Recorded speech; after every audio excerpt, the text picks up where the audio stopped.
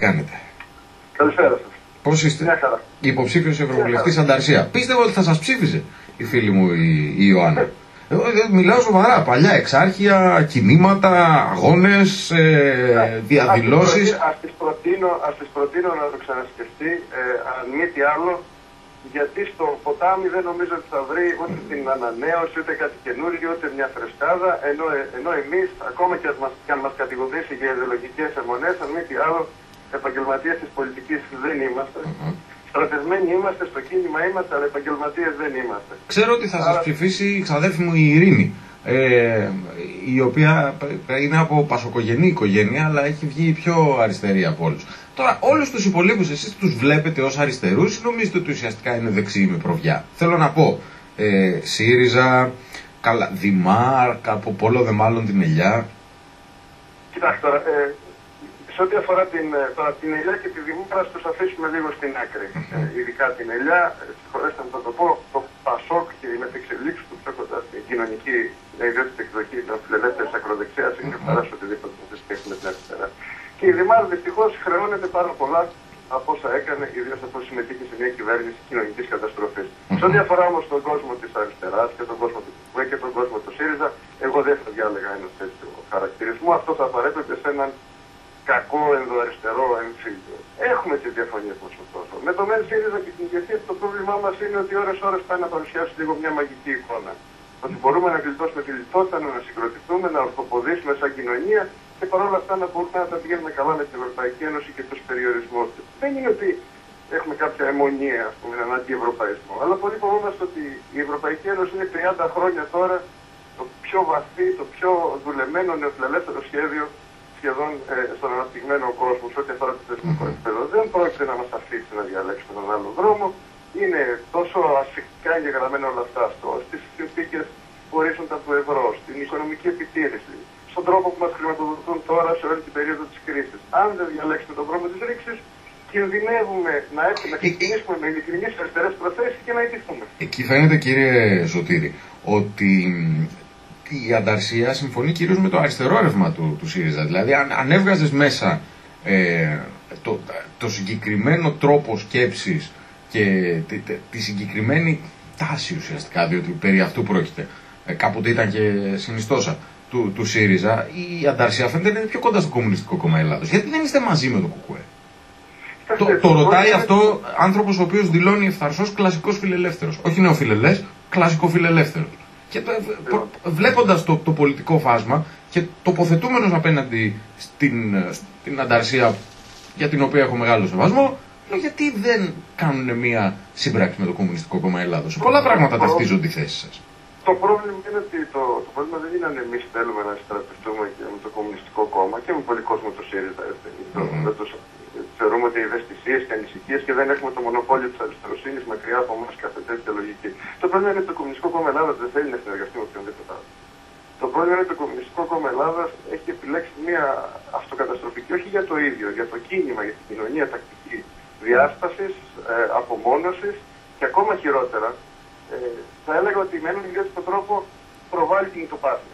Δηλαδή το στίγμα που αφήνει δεν είναι ένα στίγμα επαναστατικότητας με την έννοια τη αυτοπεποίθηση. Είναι ένα στίγμα, τίποτα δεν μπορεί να γίνει. Μμμ. Και απλώς ψήφισε το κόμμα για να έχει ένα αποκούπτη. Αλλά επιτρέψτε μου να πω, η αριστερά δεν είναι παρηγοριά στον άρρωστο, στο να βγει η ψυχή του. Μμμ. Η αριστερά πρέπει να είναι κάτι που εμπνέει την κοινωνία, τη δίνει μια αυτοπεποίθηση στα δύσκολα, κάνει αν θέλετε τους ανθρώπους να ξεπερνούν τους εαυτούς τους. Έτσι κατοχυρώθηκε άλλωστε και στην ιστορία του τόπου μα. Γιατί αυτή ήταν η ιστορία του ηρωισμού, ότι ενέπνευσε ανθρώπους να κάνουν πράγματα παραπάνω. Και σήμερα ε, δεν μπορείς να λες ότι τίποτα δεν μπορεί να γίνει. Και απλά να λες ότι όταν αλλάξουν τα πράγματα, όταν θα ξεφωνήσει. Ένα όταν που κανεί δεν ξέρει πότε είναι. Έτσι, τότε όντως θα δοκιμάσουμε να εφαρμόσουμε ένα πρόγραμμα το οποίο όντω δεν θα χαμπεί. Θα μου δείξετε, μου δώσετε ένα χαρτί Μμμ. που λέει τη θέση του ΚΚΕ. Μπορεί τι πιο πολλέ από αυτέ να τι δεχόμαστε. Την έξοδο από την Ευρωπαϊκή Ένωση, τι εθνικοποιήσει των εργατικών. Δεν είναι εκεί το πρόβλημα. Το πρόβλημα είναι τι κάνεις στην πράξη. Γιατί ζούμε μια συνθήκη καταστροφής, από την Μμμ. οποία δεν υπάρχει περίπτωση επιστροφής το 2009.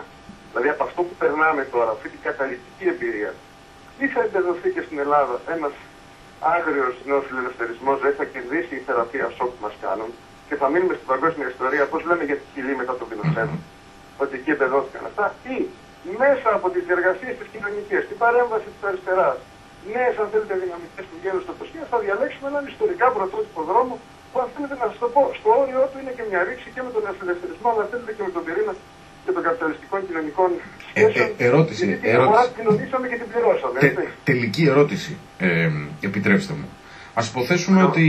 Ε, ε, κοιτάω γύρω μου αυτή τη στιγμή, είμαι σε- ε, αν έχετε έρθει στο, στο Sky από το, τον κεντρικό ραδιοθάλαμο βλέπει κανείς τη σύνταξη. Λοιπόν, μπροστά μου έχω τη Δήμητρα Σταματίου, τη Μίνα Σταματίου, δεν, δεν έχουν σχέση μεταξύ τους, γενική. Βλέπω τον πρόδρομο Παπαγιόπουλο με ένα τηλέφωνο στο βάθος, τον, ε, τον Τζέφιλιο. Ας πούμε ότι είμαστε 7-8 ονοματέοι. Λοιπόν, εγώ έχω δίκιο σε αυτό το οποίο λέω. Ε, και ας πούμε ότι έχω και τεκμηριωμένα επιστημονικά και ιστορικά δίκιο. Αλλά δεν μπορώ να πείσω τους υπολείπους. Τι νόημα έχει να, να επιμένω σε αυτό ε, αντί να προσπαθώ τουλάχιστον να τους πείσω στο βαθμό που μπορώ.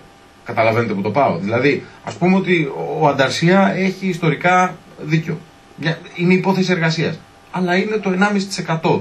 Μήπως Τώρα, η- η αιμονή σε αυτή την πολύ σκληρή γραμμή δεν είναι αποτελεσματική; Κοιτάξτε, καταρχάς... Ξέρω ότι θα ε, σας φαίνεται αφελής η ερώτησή μου, αλλά είναι ειλικρινή. Μου φαίνεται, μου φαίνεται, μου φαίνεται μια πάρα πολύ πραγματική ερώτηση. Ευχαριστώ. Κοιτάξτε να δείτε, ε, Θέλω να πω ότι είναι ερωτήματα που η απάντηση είναι, η απάντηση είναι διπλή. Η εύκολη απάντηση, και δεν είναι η βασική, είναι ότι αισθανόμαστε και αν θέλετε και μετά τις περιφερειακές εκλογές που πήγαμε καλύτερα, πήραμε 2,3% πανελλαδικά Μμμ. ε, στα περιφερειακά σχήματα, αισθανόμαστε ότι έχουμε μια αυξημένη απήχηση.